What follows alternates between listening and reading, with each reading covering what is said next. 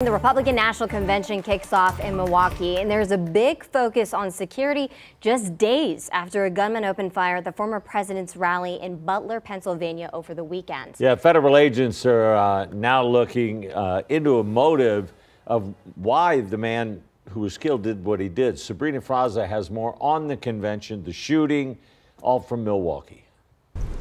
There's a heavy security presence in Milwaukee as the Republican National Convention begins later today. I feel pretty safe. The U.S. Secret Service says it's keeping its security plan as is.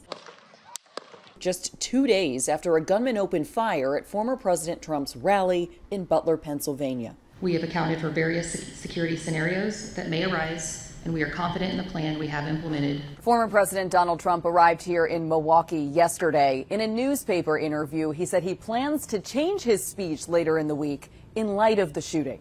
Trump also said had he not looked away from the crowd at the moment of the shooting, he may have been killed. During an Oval Office address, President Biden said he had a brief phone conversation with Trump after the shooting. We can't allow this violence to be normalized.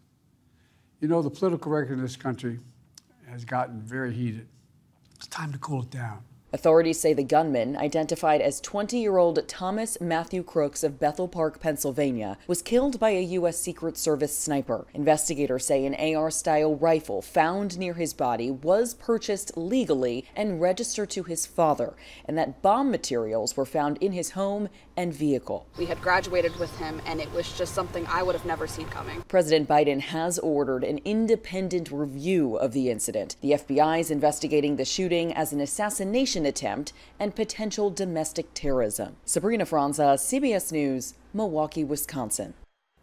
Investigators say the gunman's family is cooperating with this investigation.